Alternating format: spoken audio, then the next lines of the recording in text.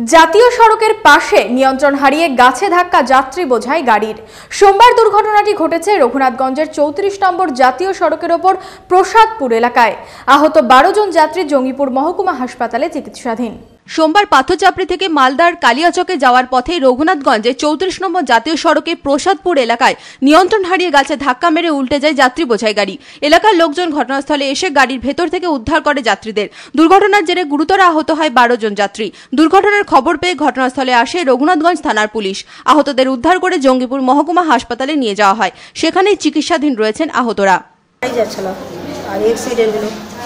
সামনে চাকা এভাবে আল গিয়া আর পাল্টি খেয়ে গাছে লেগে গেল যে পিছে তো গেলে লোক এসে আমাদেরকে বের করলো কাজ খুলে খুলে মোটামুটি বাচ্চা চলে আর দশ বারো ছিল গেছে কমবে সবাইকে তো বেশি হয়েছে সামনের দিকে যারা ছিল ওদেরকে বেশি রয়েছে পিছন দিকে একটু কম রয়েছে আমরা পিছনে ছিলাম